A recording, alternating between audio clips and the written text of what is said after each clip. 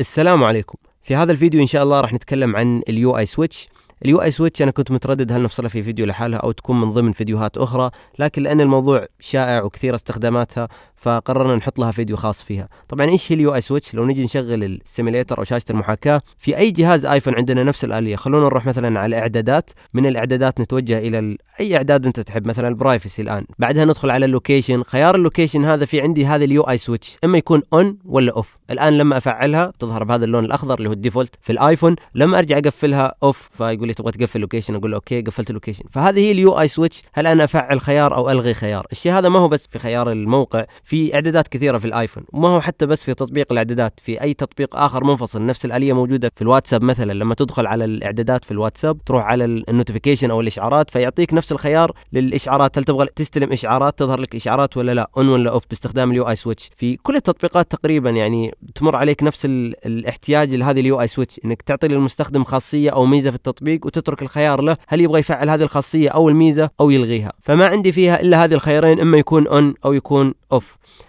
هذا كان كل شيء بالنسبة لل UISwitch. خلونا نروح على ال Xcode ونطبق عليها تطبيق عملي وقبل كل شيء نقول بسم الله.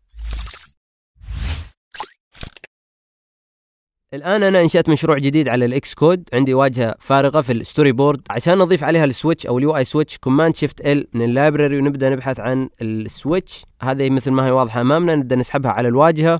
ال switch هذه في لها خصائص و attribute ممكن نعدل على مظهرها ف click عليها ونجي من القائمة اللي على اليمين ونروح على ال attribute inspector ممكن نعدل مثلا على ال state الخاص فيها. لو أنا أبغاها by default تكون مفعلة أو غير مفعلة فهي الآن مفعلة بما أن اللون الأخضر default فأقدر أغيرها من ال on إلى ال off أصبحت الآن غير مفعلة. أرجع أحولها مرة ثانية إلى ال on. الآن مفعلة اغير اللون الخاص بال on فيكون مثلا هذا اللون. أيضا نقدر نغير اللون الخاص بالدائرة هذه نفسها.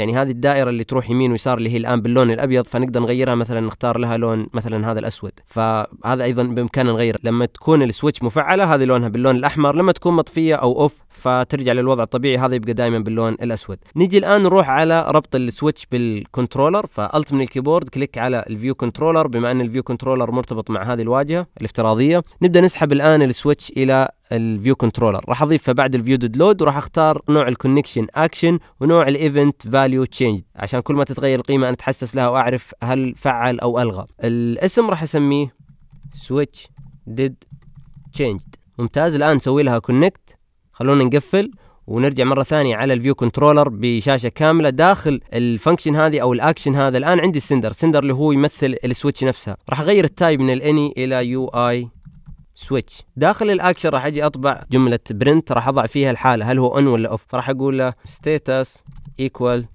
وراح نحط داخلها هنا حالة ال switch نفسها. هذا ال sender راح نقول له sender dot isOn isOn اللي هو هل هو مفعل ولا لا. إذا كان مفعل راح يعطينا true إذا كان غير مفعل راح يعطينا false الآن نشغل شاشة المحاكاة ونجرب نشوف نغير الحالة من ال on إلى ال off ونشوف الاختلافات ما بينها.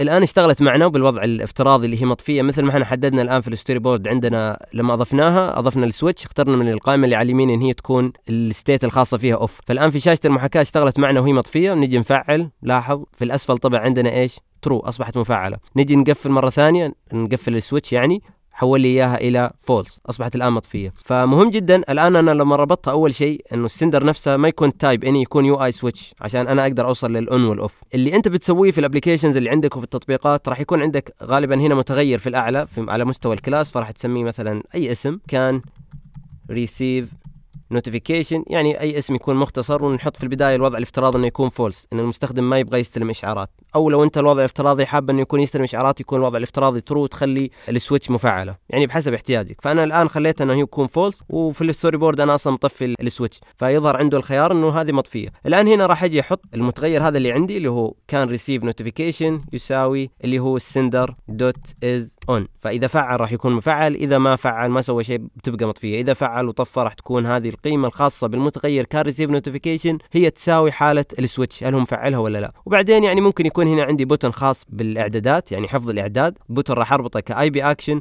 وإذا ضغطت أنا على هذا ال button راح أعرف قيمة هذا المتغير أو أستخدم هذا المتغير حتى أعرف هل الشخص هذا حاب يستلم إشعارات ولا لا؟ وأرسل القيمة عندي لل backend لل database وراح نجي لها إن شاء الله في الدروس المتقدمة في القسم الخاص بال database كيف نرسل الإعدادات هذه ونخزنها عندنا في ال server ونعتمدها كإعدادات خاصة بالمستخدم. هذا كان كل شيء بالنسبة لل UISwitch. إلى هنا وقف أستودعكم الله. السلام عليكم.